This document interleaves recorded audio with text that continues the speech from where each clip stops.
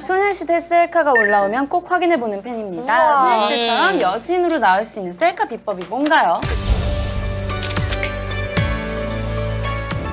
셀카 뭐 너무나 많은 분들이 다 알고 계신 뭐 45도 각도에서 뭐 이렇게 내려 찍, 찍기 하니까 생각나니까 아버지 아버님들 아, 아, 엄마 아빠 프로필 사진 본 사람 자 거짓말 이렇게 찍어 다 셀카 모든 사진 다 누구보다 턱커 보이게. 턱이 이제 누구보다 생각 아, 아쉽다. 내가 제일 크다. 이렇게 찍거나 저는 그 전신샷을 자주 찍는 편은 아닌데 제 친구들이나 요즘 보니까 전신샷을 찍을 때 이렇게 찍지 말고 이걸 이렇게 뒤집어서요 카메라가 아래쪽에서 위를 이렇게 대박. 찍을 수 있는 나는 이미 하고 있었지.